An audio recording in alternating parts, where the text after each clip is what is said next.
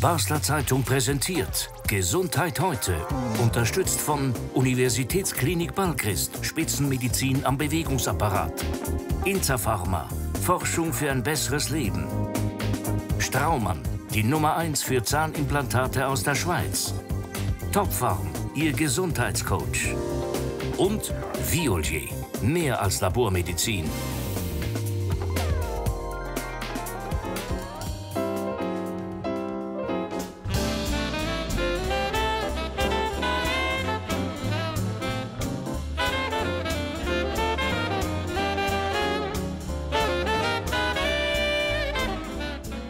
Grüezi miteinander. Jetzt haben Sie gerade die Big Band von Pepe Lienhardt gehört und er ist bei mir in der Sendung wegen dem Gehör, wo nicht mehr so ist, wie es einmal war. Pepe Lienhardt, wie schwierig war es, sich das einzugestehen?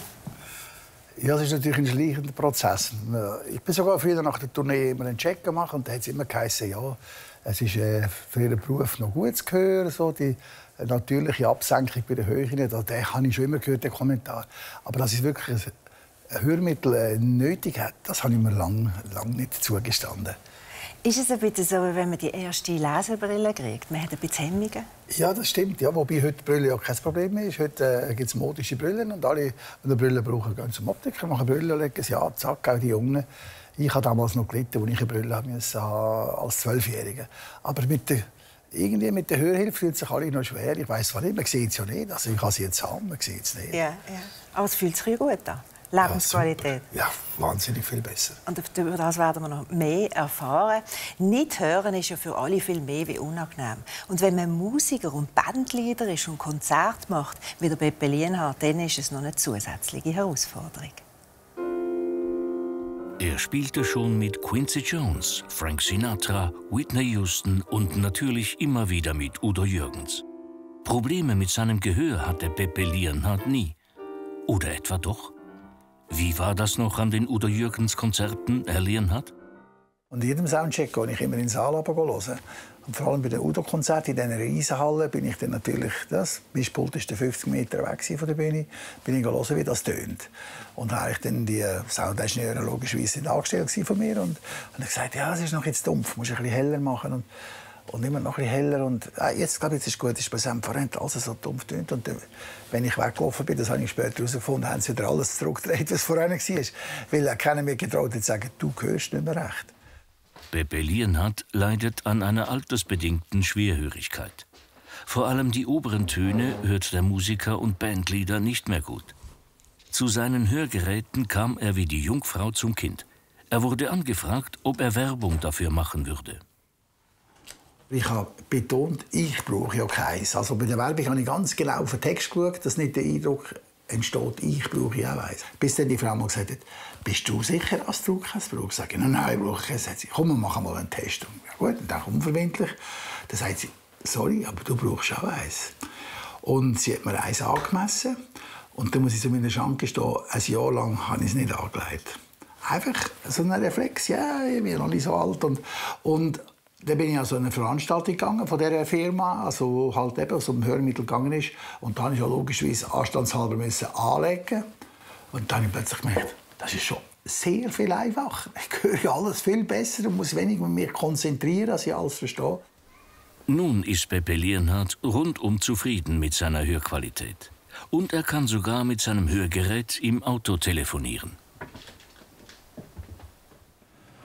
Das ist das geniale Teil hier das zusammenstecken, das Kontakt macht, lege ich das an.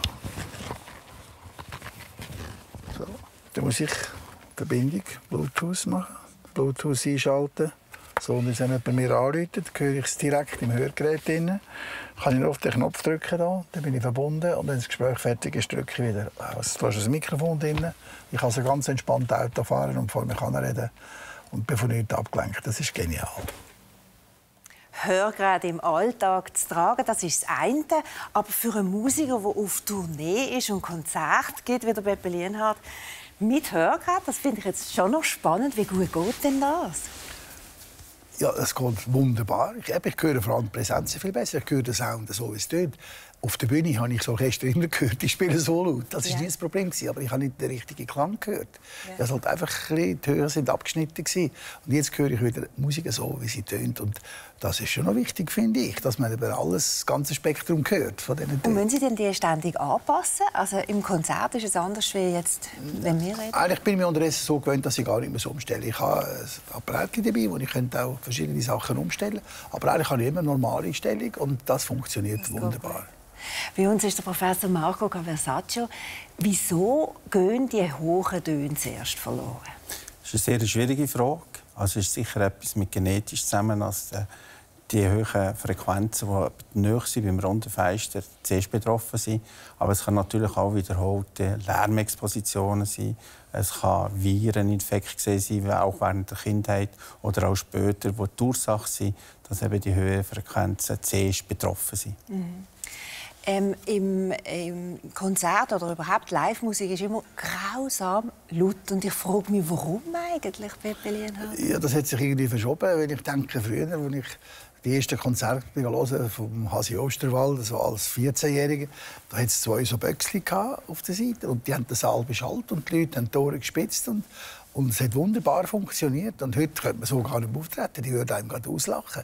Es ist einfach immer, immer lauter geworden. Aber es gibt eigentlich keinen wirklichen Grund dafür. Es ist einfach immer stetig lauter ja, geworden. Weil äh, die Leute hören geht's. Und es ist so eine Entwicklung, natürlich gewisse Art Musik, Heavy Metal, muss jetzt einfach heavy sein. Also das kann man jetzt nicht leislich spielen. Aber wir haben unterdessen äh, einige Konzerte gemacht, gerade mit der Big Band, die doch einen eigenen Klang hat. Und die haben früher immer ohne Mikrofon gespielt. Die Big Bands, Glenn Miller, Original. Das war vorher ein Mikrofon für die Sängerin und fertig. Und die Orchester hatten Sound. Gehabt. Und wir haben zwei, drei Konzerte jetzt unterdessen schon akustisch gemacht. Und die Leute können sich alle bedanken. Das kann ich mir gut vorstellen. Ja. Jetzt eine ist die Hörgeräte, aber es gibt jetzt auch noch ganz neue Behandlungen. Es ist zwar noch weit weg von der Praxis, aber um was geht es da, Herr Galasatsch? Es hat verschiedene Ansätze, die man hat. Das eine wäre eben eine Gentherapie. Das ist im Moment in den Vereinigten Staaten, wo man probiert, aus Stromaufbau direkt zum äh, ovalen oder runden Fenster zu kommen und dort etwas hineinzubringen, eine Substanz, und probiert, dass dort wieder die Hörli wieder sich regenerieren. Das ist die eine Möglichkeit der Therapie. Da läuft jetzt eine Studie in Kansas und New York.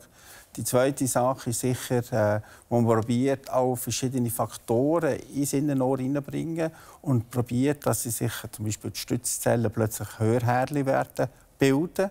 Das ist auch eine Möglichkeit. Und das Dritte ist natürlich die Stammzellen. Oder man probiert natürlich Stammzellen eines Tages wieder ins Innenohr hineinzubringen Wobei das sicher noch länger wird dauern aber ist es denkbar, mal theoretisch, dass man irgendwann einmal gar keine Hörgeräte braucht, sondern das anders kann therapieren kann? Ja, es wird sicher eine Möglichkeit besteht. Also ich weiß, ich kann die Zukunft nicht voraussehen. Im Moment ist es nicht der Fall, aber äh, natürlich, wenn eine Gentherapie wird wirken, ist das natürlich möglich, dass vor allem die Autoschwerhörigkeit, dass das deutlich besser wird werden und vielleicht eines Tages halt oder kleinere Hörgeräte oder weniger, äh, wo Batterien braucht, eingesetzt werden. Mhm. Eine andere Möglichkeit ist ein Cochlea-Implantat. Wir haben ein paar Bilder dazu. Um was geht es? Sie setzen das sogar mit Robotern ein heute. Es geht um Cochlea-Implantat. Das gehört zur hochspezialisierten Medizin in der Schweiz. Da geht es im Prinzip darum, äh, bei tauben Patienten, also beidseits-tauben Patienten, äh, Stimulanz reinbringen, so wie eine Elektrode und probiert Nerven zu stimulieren, damit die Leute etwas hören.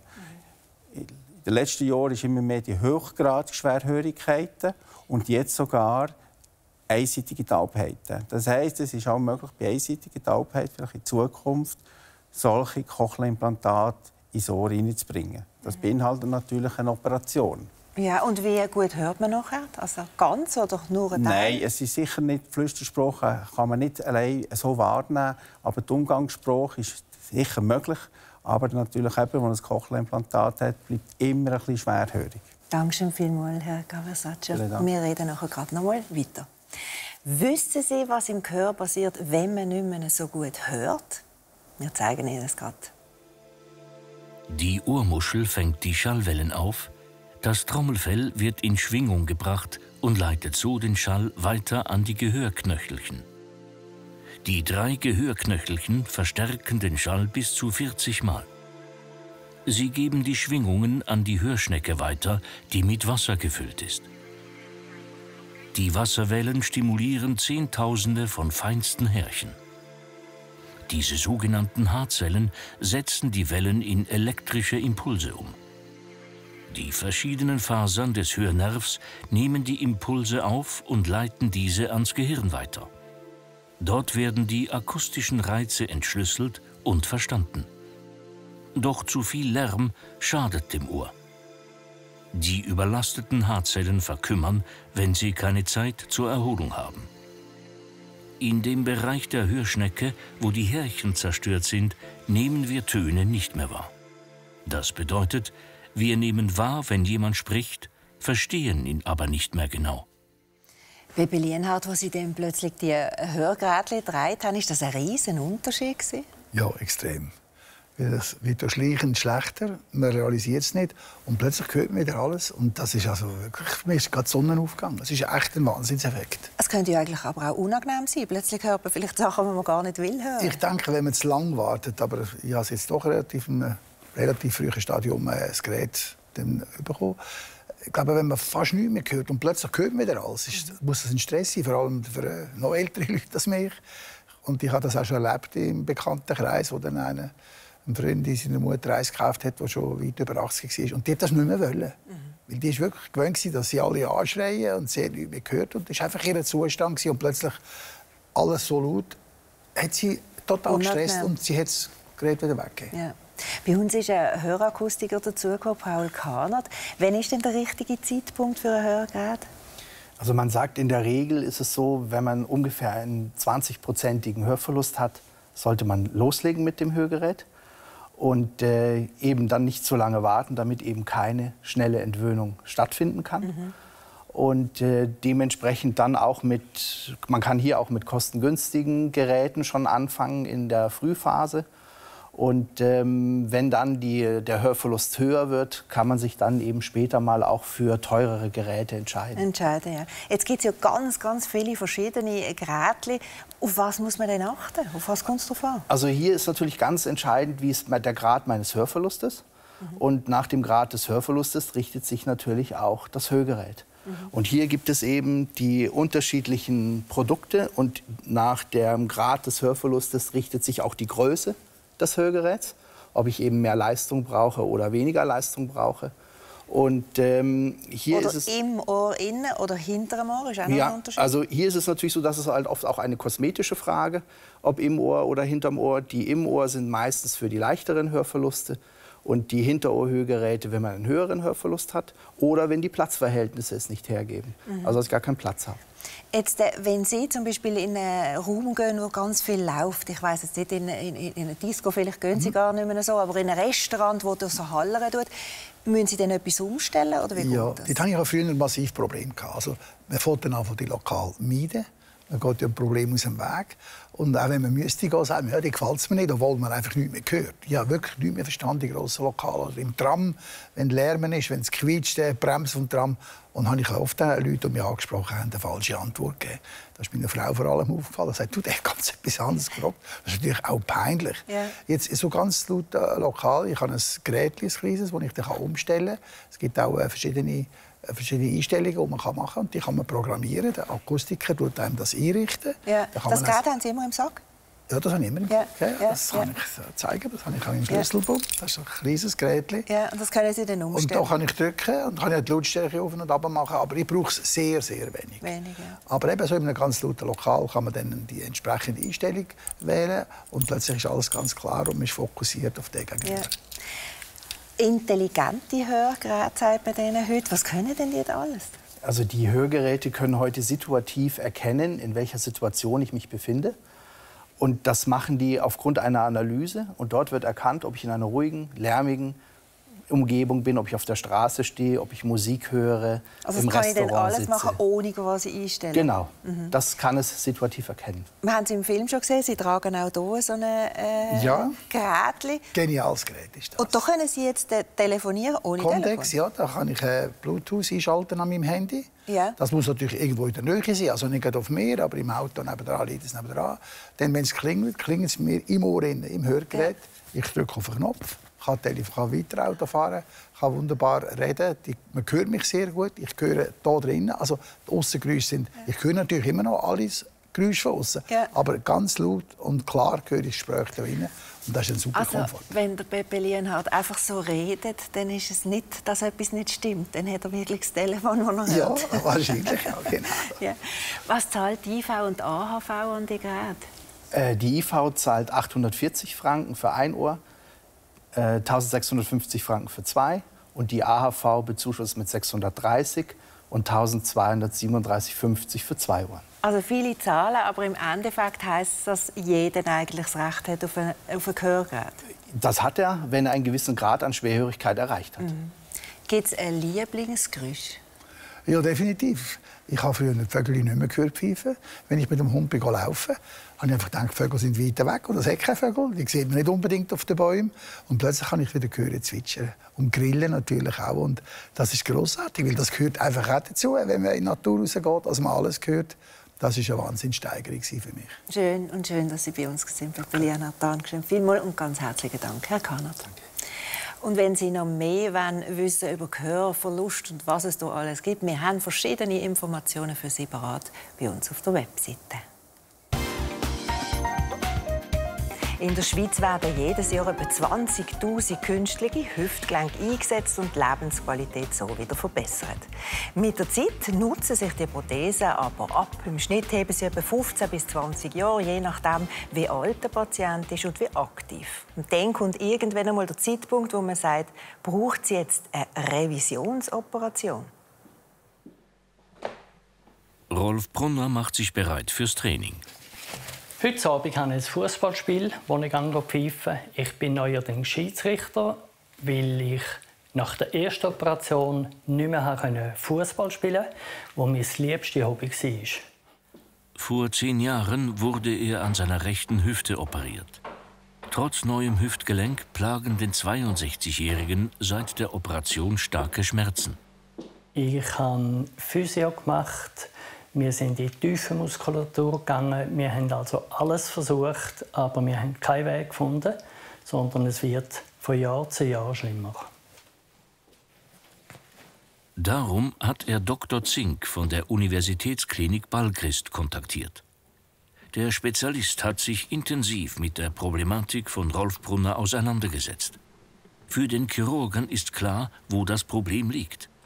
Seine Empfehlung, Rolf Brunner benötigt eine zweite Operation an der Hüfte. Sie sehen hier ein künstliches Hüftgelenk. Das ist eine normal positionierte Pfanne. Beim Herrn Brunner ist die lockere Pfanne in diese Richtung gewandert und hat da zu einem grossen Loch geführt. Das Loch werden wir mit Fremdknochen füllen. Das ist nachhaltig und der Fremdknochen kommt aus der eigenen Knochenbank. Eine Alternative dazu ist, dass man einfach eine übergroße Pfanne da einsetzt. Das ist aber bei einem jungen Patienten meiner Meinung nach nicht nachhaltig. Dr. Zink setzt nicht nur auf nachhaltige, sondern auch auf schonende Operationen und engmaschige Kontrollen. Es ist sehr entscheidend, dass auch wenn man absolut beschwerdefrei ist mit einer Hüftprothese, weiß, dass nach Jahren und Jahrzehnten die Hypothese wird verschlissen sein und dass es dann einen Revisionseingriff braucht. Und um nicht einen günstigen Zeitpunkt, wenn man so will, zu verpassen, so einen Revisionseingriff zu machen, sind Nachsorgeuntersuchungen wichtig. Herr Brunner, guten Tag. Wollen wir? Gerne. Bald ist es soweit. Rolf Brunner wird in wenigen Tagen operiert. Heute besprechen die beiden letzte Details. Nehmen Sie gerne Platz, Herr Brunner.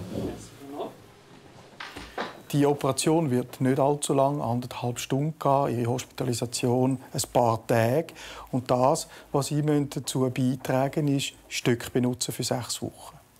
Ich habe viel Sport früher gemacht. Ja, auf sozusagen alles müssen verzichten. Am Schluss jetzt aufs Dörf fahren. Was kann ich wieder machen nachher? Was darf ich wieder machen? Sie dürfen davon ausgehen, dass Sie die Beschwerden von jetzt nicht mehr haben, dass sie den Alltag problemlos bestreiten können, den Sport als Schiedsrichter, Fußballschiedsrichter auch und auch ihr geliebtes Hobby, das Töfffahren, sehe ich keine Bedenken. Ja. Glänzen tut es schon. Und wenn alles nach Plan läuft, kann Rolf Brunner bald wieder Motorrad fahren. Der Rolf Brunner ist mittlerweile operiert worden und es ist alles gut gegangen. Er muss jetzt etwa sieben Wochen Stöcke tragen und dann fängt die Rehabilitation an. Wissen Sie, dass die Wechseljahre nicht nur wir Frauen haben, sondern auch Männer? Im nächsten Beitrag geht es um Testosteronmangel. Testosteronmangel ist ein Tabuthema und wir reden darüber. Wir sind der Top Apotheke Mainz in Hochdorf im schönen Seetal. Beschwerden bei Testosteronmangel sind nicht so offensichtlich, wie man denkt, wie zum Beispiel Potenzabnahme. Der Mann kommt zu uns in die Apotheke mit Beschwerden wie Erschöpfung, Müdigkeit, depressive Verstimmung oder Muskelbeschwerden. Die Ursache des Testosteronmangel kann eine Grunderkrankung sein, der natürliche Alterungsprozess der männlichen Geschlechtsdrüse. Immer mehr treffen wir aber auch jüngere Männer an, die unter Stress und Druck leiden und auf Dauer durch das die Produktion der Sexualhormone beeinflussen. Wir in unserer Apotheke haben uns spezialisiert auf die Herstellung von so Testosteronpräparaten, die man auf die Haut aufträgt. Wir verarbeiten Testosteron in eine Grundlage, in eine Creme oder in eine Schil verarbeiten. Und das ist so in der Dosierung, wie es der Arzt dann aufgrund des Blutwerts bestimmt hat. Also sehr individuell. Gerade junge Männer können mit einer guten Work-Life-Balance, guter Ernährung, Sport den Stress im Griff behalten und so einem Testosteronmangel vorbeugen. Bei mir ist heute Pepe Lienhardt in der Sendung und Sie sind jetzt schon bald auf Tournee. Von wem bis wann? Also heute Abend ist Premiere im Theater 11 in Zürich. Wir sind nach einer zehn Schweizer Städten unterwegs und bis am 31. Oktober geht die Tournee. Und dann wünsche ich Ihnen viel Erfolg. Dankeschön, dass Sie bei uns waren. Danke auch Und Ihnen daheim, danke fürs Zuschauen und Adi miteinander. Es gibt Menschen, die fühlen sich gezwungen, alles Mögliche ständig zu kontrollieren. Sie leiden unter Zwangsstörungen.